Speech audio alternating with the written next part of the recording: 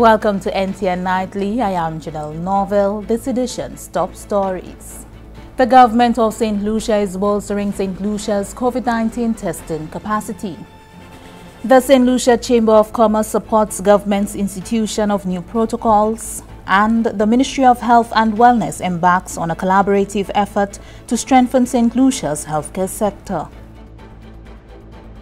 Prime Minister the Honorable Allen Chastanet has fulfilled his promise to resolve the issues confronting the Ezra Long Laboratory due to the increase of COVID-19 cases here.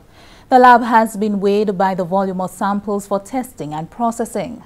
During his address Tuesday on the new protocols, Honorable Chastanet informed that the forensic lab will now receive samples from two of the largest facilities, Vieux-Fort and Gros Polyclinic, for processing. This is to reduce the backlog and burden on the Ezra Long Laboratory. Antigen tests will be used for screening in high-risk settings and workspaces. Training on antigen testing began today. Exit tests for travelers will be facilitated at private laboratories. Mass testing will be introduced to increase population coverage. In light of increasing cases and community spread, two additional wellness centers will be used as testing sites, one in the south and one in the north. Nationals will also have the option of testing at private laboratories. The St. Lucia Medical and Dental Association reaffirms its support of the government's decision to institute a seven-day state of emergency in the first instance, the 10-hour curfew and shortened pre-testing timeframe for arrivals.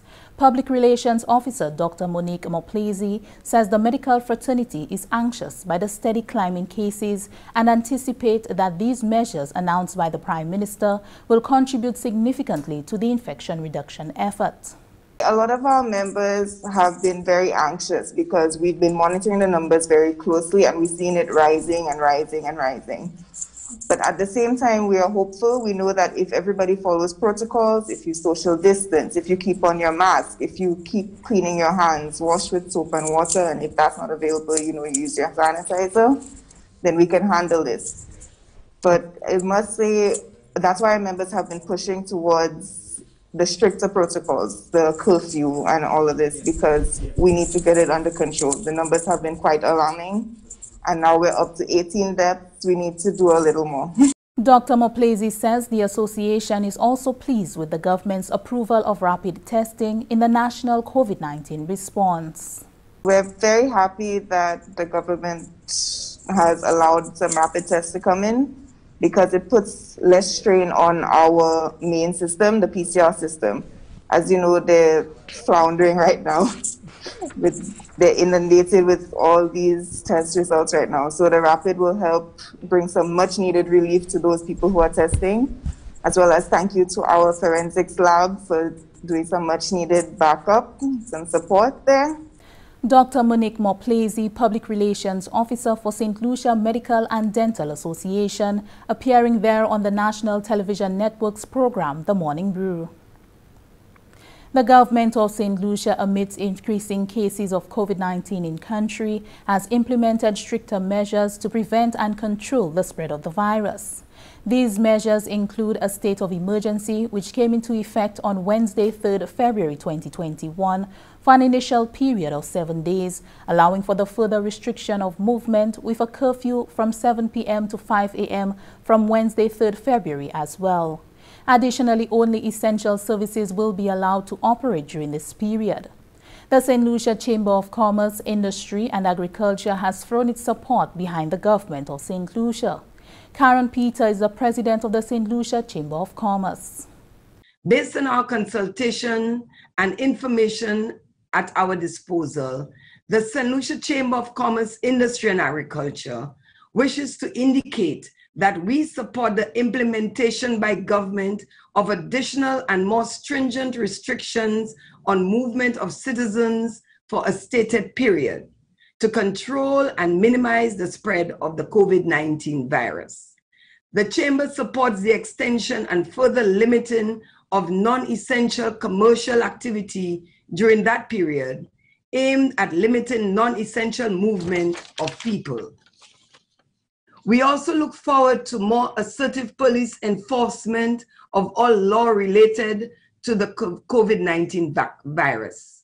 We are equally convinced that if proper implemented and recommended protocols faithfully followed, this will be in the best long term interests of business, citizens, and the economy. The president notes that despite the negative impact on the business community, the health and well-being of the public remain paramount. Our members recognize the invaluable contribution of their team members to the success of their businesses. Our members also understand that the safety and well-being of team members and customers must remain in the forefront. Thus, we wish to say that we support the steps being taken by the government to address the backlog in testing and provision of results to persons. We note the efforts to procure a technician from Trinidad and Tobago to make additional equipment functional, the hiring of additional administrative staff to support the work of the lab, and the decision to divert testing for tourists to private labs thus easing pressure on the public facilities. And we must continue to look for ways to improve this even further wherever possible. President of the St. Lucia Chamber of Commerce, Industry and Agriculture, Karen Peter. The list of public sector and private sector commercial and business activities and or services allowed during scaled-down operations in St. Lucia as per statutory instrument 25 and 26 of 2021, effective as of the 1st of February to the 10th February 2021, includes financial banking and insurance services, electricity, water and telecommunication services, supermarkets, mini-marts, community grocery shops and bakeries, hardware stores, food supply and preparation services including restaurants, food trucks and food stalls, farming and fishing activities, sanitation and solid waste management services, gas stations and petroleum services, call centers, broadcasting and media, manufacturing and exports, air and seaports, customs brokerage and courier services, online commerce and services, vending, food or agricultural produce, healthcare services, police, fire, emergency services, safety and security, private security, public transportation services, automobile garages, auto parts supply services, tire supply and repair services, law offices, accounting firms, hotels for international tourists, public service government ministries, agencies and statutory bodies, construction sector, judiciary and magistrate court. Businesses seeking additional clarification on these matters are asked to contact your commercial membership organizations or the Ministry of Commerce at email mincommerce at govt.lc or contact number 4684218.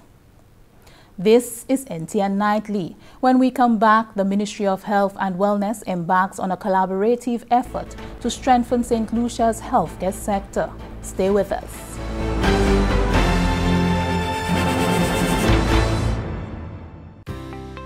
Be aware of and follow water conservation practices. Here are a few tips to help you save water. Wash dishes in a basin of water instead of a running tap. Soak pots and pans instead of letting the water run while scraping them. Check toilets for leaks by putting dye in the tank. If color shows in the bowl without flushing, there is a leak. A leaking toilet can waste thousands of gallons of water. Use a bucket instead of a hose to wash cars and reuse grey water from laundry to water plants. Water conservation reduces energy consumption and strain on the water distribution system. Conserve water whenever possible and remember, every drop counts. A message brought to you by the Water and Sewage Company Incorporated, WASCO. Welcome back. The Ministry of Health and Wellness on Wednesday, February 3, 2021, received confirmation of 77 new cases of COVID-19 from a batch of 413 tests conducted at the Ezra Long Laboratory. This batch consisted of samples taken from January 25 to February 1, 2021. The ministry on Wednesday also confirmed the recovery of 73 individuals diagnosed with COVID-19, bringing the total number of active cases in country to 759. One of the active cases as at news time was in critical care at the respiratory hospital, while all others were stable. One of the cases is a 41-year-old male non-national. He was placed in quarantine while awaiting receipt of his test results. The individual has since been placed in isolation. The other 76 cases are St. Lucia nationals who range in age from 12 years to 67 years. They are from the Babonneau, Ancillary, Gros Islet, Dennery, Laborie, Castries, and Vieux Fort districts. They were seen at a community-based respiratory clinic for assessment and were tested for COVID-19. These individuals were placed in quarantine by healthcare practitioners while awaiting their COVID-19 test results. Arrangements have since been made to place them in isolation. The contact tracing team is undertaking investigations to identify the contacts of these confirmed cases. The Ministry of Health and Wellness on Wednesday also confirmed two COVID-19 related deaths, bringing the total number of deaths in the country to date to 18. Death 17 is a 65-year-old male and death 18 is a 82-year-old male. Both individuals had underlying medical illnesses and were in care at the time of their passing. The Ministry of Health and Wellness extends condolences to the families and loved ones of these individuals. The new cases now bring the total number of cases diagnosed in country to date to 1,556. The Ministry of Health and Wellness in collaboration with the World Bank Group work to strengthen St. Lucia's healthcare sector. More in this report from Fernell Neptune. The initiative is referred to as the Performance-Based Finance Mechanism and is a major part of St. Lucia's Health System Strengthening Project. Performance-based finance coordinator of the St. Lucia Health System Strengthening Project, Niam Jean-Baptiste explains, this system provides incentives or benefits to both the providers and receivers of healthcare.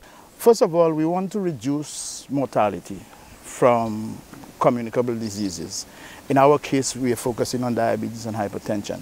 So this would be the, the overall goal, to reduce uh, mortality and also, if you want, consequences of diabetes, diabetes and hypertension.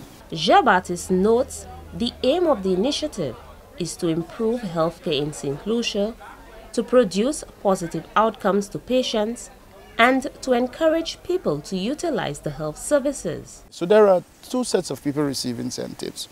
One would be the, the let's look at the most important persons, the clients. So the clients would receive free, for now, for now they would receive free laboratory testing. The persons who provide the service, what they will do, they will be receiving additional funds uh, which they could use under agreed um, um, conditions um, based on their performance. So if, for example, we set a target and then they have achieved the target or surpassed the target, we're going to reward them or provide them incentives so that they can use that service to enhance the services, maybe to train their staff or to do other things. Performance-based finance programs are prevalent in many low and middle income countries, but the system will be new to St. Lucia. Reporting from the Communications Unit of the Ministry of Health and Wellness, I am Fernell Neptune. The Caribbean community CARICOM intensifies efforts to measure the results of regional integration. We hear more from CARICOM News Times Susan King English Francis. The need to increase the implementation of programs, dwindling resources, and increasing demands have led the CARICOM Secretariat to formulate actions towards a results-oriented work culture across the community.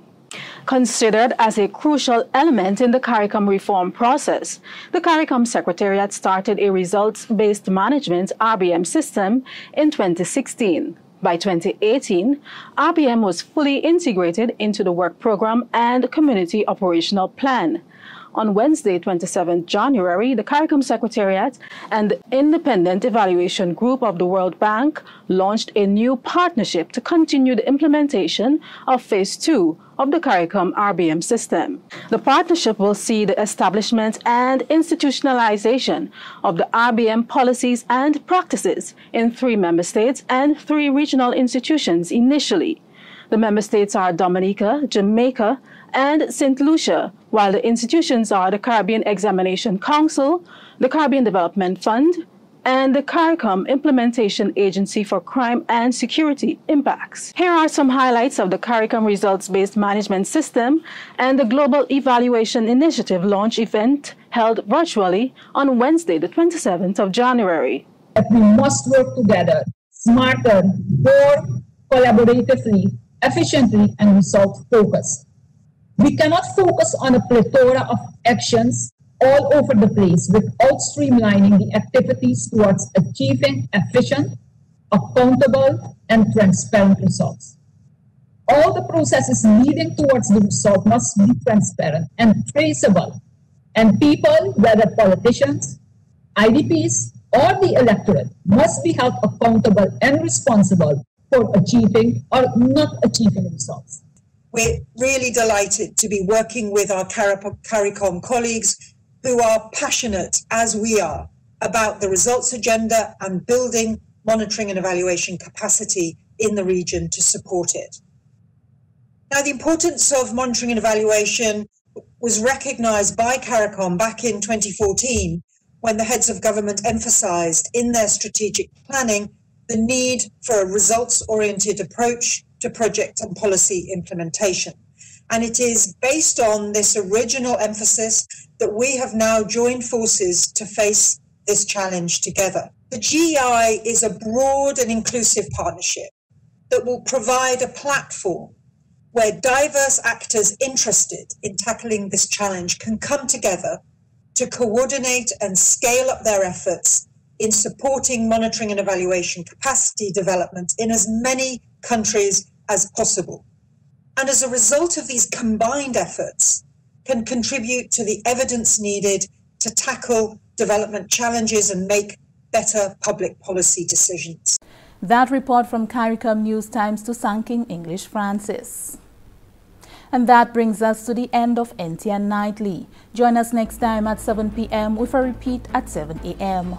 You can also catch up with us anytime on the St. Lucia Government Facebook page or YouTube channel. I am Janelle Norville.